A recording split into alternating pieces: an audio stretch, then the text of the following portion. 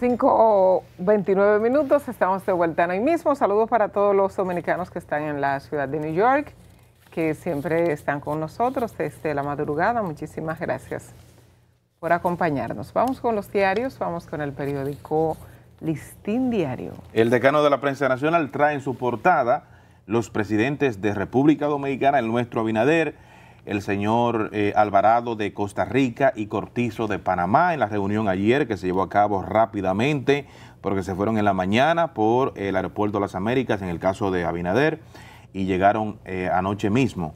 O sea que fue una reunión rápida. eh, además Panamá está cerquitica de la República Dominicana. Alza del petróleo anticipa nuevos reajustes en precios de combustible. Pero eh, volviendo al caso de, los presidentes, dice, presidentes proponen desarme en Haití. Índice de Chapultepec, República Dominicana, con las mejores notas en libertad de prensa. Aprietan controles en la zona fronteriza. Pruebas de COVID entre los niños. En más informaciones, en lo que tiene que ver con el deporte, anoche victoria para Dodgers, para Bravos sobre Dodgers y para Houston sobre los Medias Rojas. El dominicano Chris Duarte, Joanna, anotó 27 puntos en su debut en la NBA. Es el debut, el novato que ha debutado con más puntos en la historia de los Pacers, para que usted tenga una idea.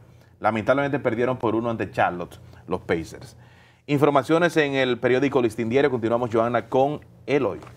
Así es, Leonel dice no apoyará la reforma fiscal. La reforma no parece políticamente viable, dice. Panamá, Costa Rica y República Dominicana proponen el desarme de Haití.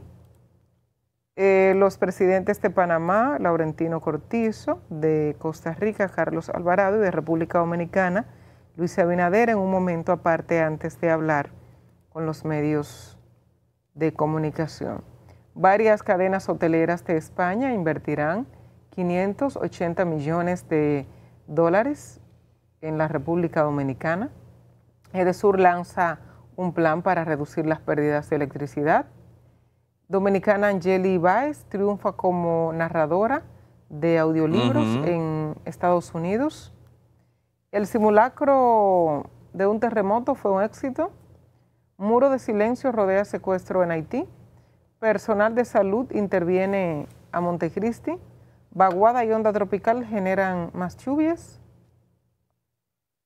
Continúa el aumento de contagiados. Último boletín reporta 963. Eh, um,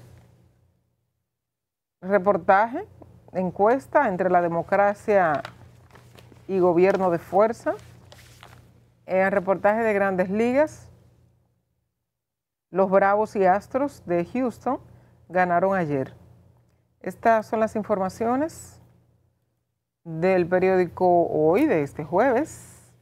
Vamos con el Caribe. El Caribe. El Caribe dice República Dominicana, Costa Rica y Panamá plantean solución a crisis que atraviesa Haití.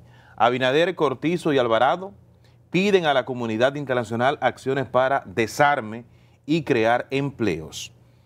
29 de 31 muertos por COVID no estaban vacunados, Joanna.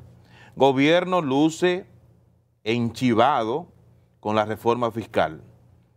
Acusan a migración de hacer negocios con ilegales.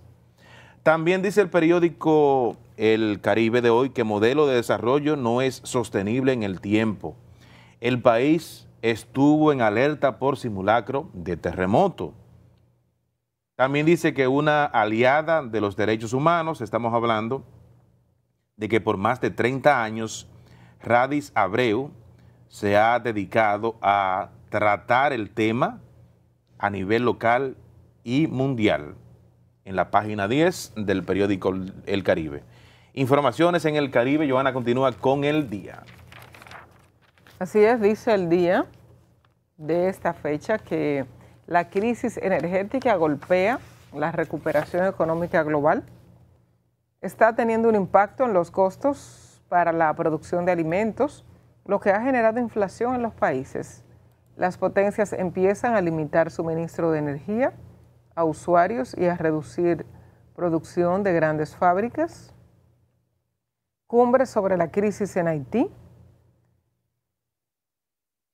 Luis Abinader, Laurentino Cortizo y Carlos Alvarado abogan por desarme y seguridad en esa nación. Indicadores PCR y de vacunación eh, tienen repunte. Restricciones de salud han incentivado a la gente para inocularse contra el virus. Según las estadísticas oficiales, el 60% de la población cuenta con dos dosis contra COVID, mientras pacientes no vacunados acuden a hospitales. Sexo de pareja no consentido será penalizado. Pero es que no, es que lo, que pasa es, es que no es así. No, es la violación que van a, penalizar. Lo que pasa es que no lo suavicen. No, no lo suavicen. Se considera violación las relaciones íntimas entre parejas sin aprobación. En el Código Penal que discute el Congreso se establecerá prisión de entre 10 a, a 20 años para el hombre que obliga a su mujer a tener sexo o para la mujer también, porque la mujer puede violar al hombre, puede obligarlo. Han pasado casos. Exactamente. O sea, no, no es solamente el, el masculino, puede que sea más frecuente o que se conozca más, pero puede ser contrario también. Como hay muchas mujeres que hostigan hombres sí. Eh, buscando una relación cuando el hombre puede que no esté en eso. Dice, no le, dice a Minga Laza que él está disponible, cualquier cosa, Joan.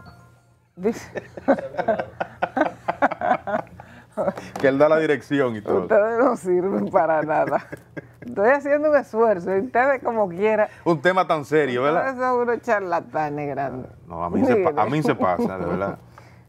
Dice, DNCD incauta 88 kilos de cocaína en Samaná. Eh, hubo siete heridos en simulacro de sismo.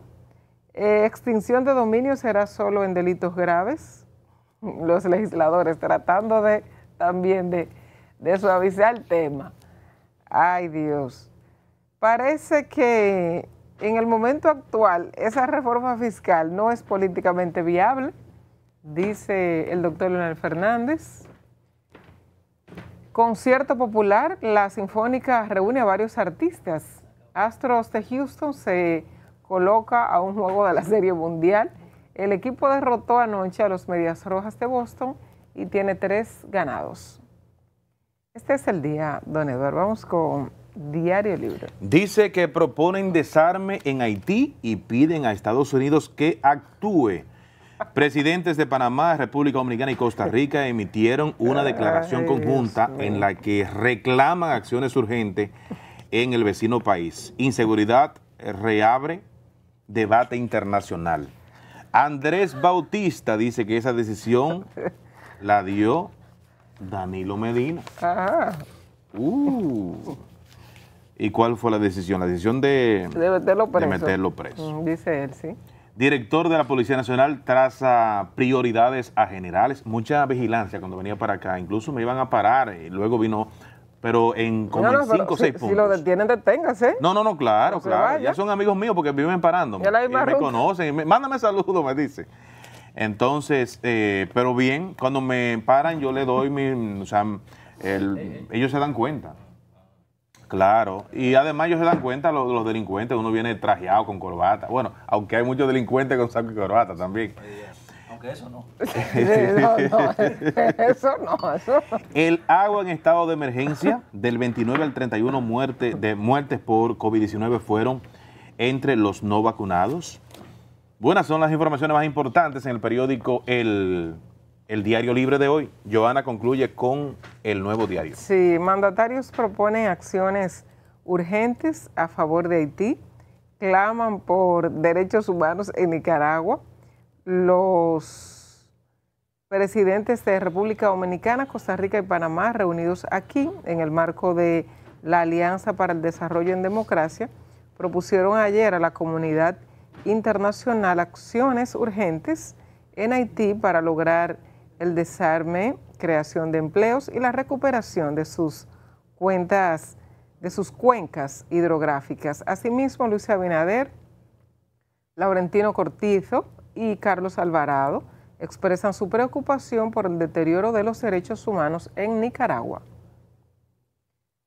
Em, seis personas heridas en el simulacro simultáneo por sismo en todo el país. Seis personas resultaron heridas ayer en el municipio de Consuelo, San Pedro de Macorís, tras ser atropelladas por un camión de bomberos durante el simulacro de un terremoto que se realizó de forma simultánea en el país. Los heridos, todos estables, son cuatro bomberos, un motorista y el encargado de la Policía Municipal, el señor Miguel Ángel Peguero. Entonces, algunos han cuestionado, ¿no? La, eh, pero bueno, el, creo que fue que el simulacro es importante.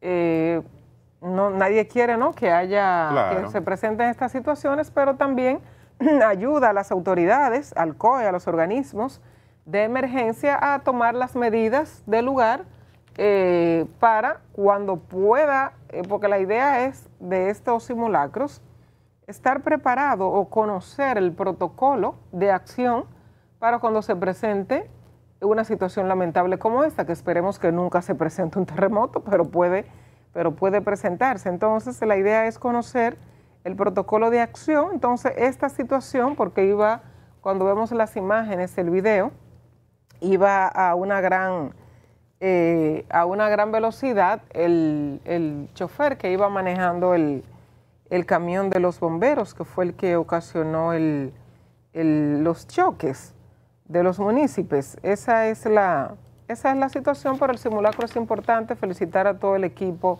del Centro de Operaciones de Emergencia, al general.